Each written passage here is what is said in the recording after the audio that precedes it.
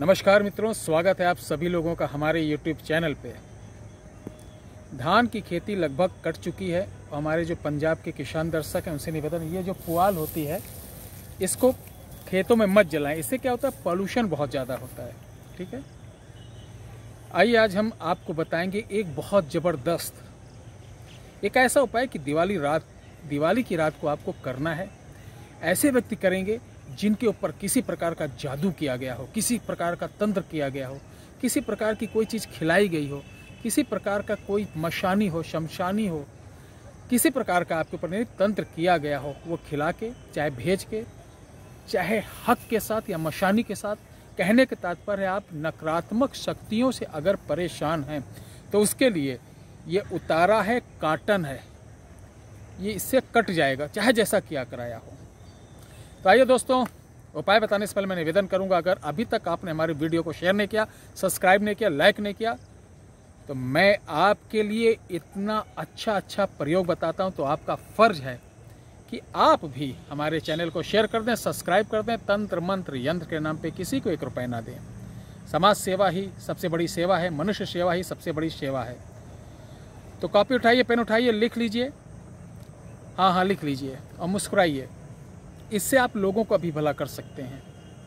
उपाय बताने से पहले एक निवेदन और है कि कमेंट बॉक्स में कोई नंबर दें बिल्कुल ना संपर्क करें। मेरा कॉन्टैक्ट नंबर सुबह 10 बजे से 4 बजे तक का ही खुला रहता है। संडे और आ, संडे को पूरा बंद ही रहता है। तैयार हो गए?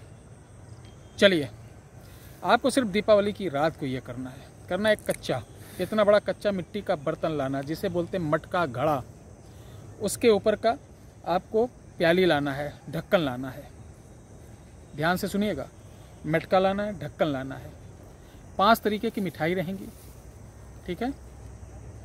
पाँच तरीके की मिठाई, पाँच जायफल रहेंगे, पाँच नींबू रहेगा, पाँच सुई रहेंगी, कपूर रहेगा, पाँच लौंग रहेंगे।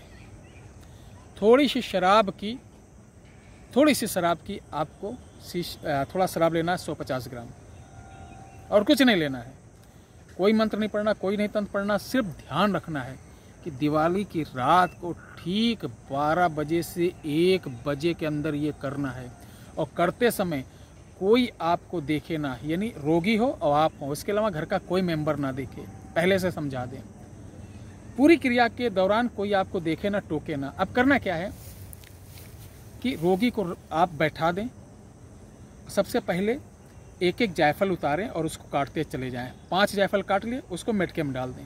फिर पाँच नींबू उतारें काट कर हर नींबू को उतारें। कुछ नहीं बोलना पाँच पाँच बार उतारना है, काटना है। ऐसे पाँच नींबू, पाँच जायफल, पाँच लौंगों को उतार कर काट कर मेटकी में डाल दें।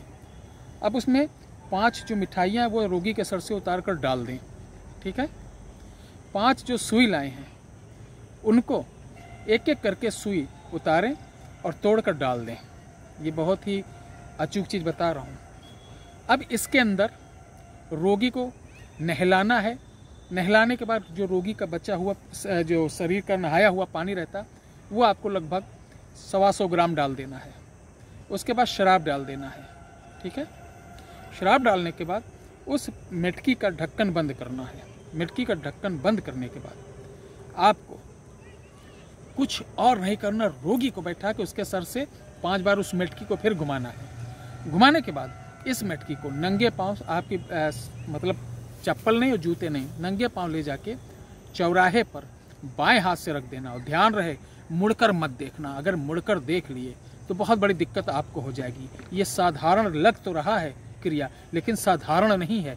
आप इसका जब प्रयोग करेंगे, इसके चमत्कारी प्रभाव को देखेंगे तो आप चौंक जाएँगे और गर्व करेंगे भारत की उस संस्कृति पर, भारत के उस विद्या पे, भारत के उस वैदिक तंत्र मंत्र पर, जो कि इतने प्रमाणिक, इतने तीर के तरीके काम करते हैं। तो आपको मेरे ख्याल से आ गया होगा, समझ में कैसे क्या करना है। और एक चीज़ और निवेदन बता रहा हूँ कि अभी तीन चार दिन से लोग हमको फ़ोन कर रहे हैं, कस्तूरी जिन्नादी इत्र के लिए। वो आ गया है, अगर किस, जो भाई बंधु चाहिए, मैं कॉल तो कर नहीं सकता हूँ सिर्फ़ बता दे रहा हूँ कि कस्तूरी काला जिन्नादी इत्र आ गया, जिनको लेना हो, वो जल्द से जल्द अपना बुक करा कर मंगा लें, अन्यथा समाप्त हो जाएगा। ये वही कस्तूरी काला जिन्नादी इत्र है, जो तीन बूंद फ़ोटो पे डालकर किसी को, यानी अपनों को बुलाया जा सकता है, हमेशा के लिए आपका साथ देगा टूटते रिश्ते को बचाता है, और घर में खुशहाली लाता है। जो आपसे दूर चला गया, वो आएगा, जो बिछड़ गया, वो आएगा, जो कहना नहीं मानता, वो मानेगा। ये वही काला कस्तूरी जिन्नादियत इसकी एक वीडियो पड़ी है, तीन बूंद इत्र फ़ोटो डालें, ये भी देख सकते हैं। आप उपाय करिए किसी प्रकार की कोई समस्या हमको कांटेक्ट करिए, मैं आपके साथ हूँ। बस आपका आशीर्वाद ऐसे ही मिलता रहे। जय हिंद, जय भारत, जय श्री राम।